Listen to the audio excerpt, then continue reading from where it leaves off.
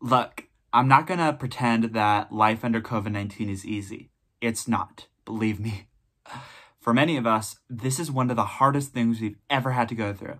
And I know, I know how tempting it is to want to go back to normal. I mean, I've had to make some really tough choices over the past few months. I'm choosing to do my classes online this semester and possibly next semester if things don't get better. I had to choose to not participate in my senior season of football. I had to choose to not participate in choir, even though it's my last year, and just not do a lot of the things I love to do.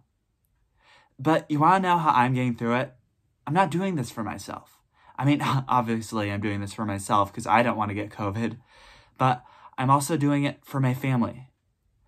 I'm doing it for hospital workers, doctors, and nurses, working tirelessly night and day to try to get this virus under control, even though they're risking their own health. I'm doing this for Broadway performers who've been unemployed for almost a year and they have no idea when they're going to be able to work again.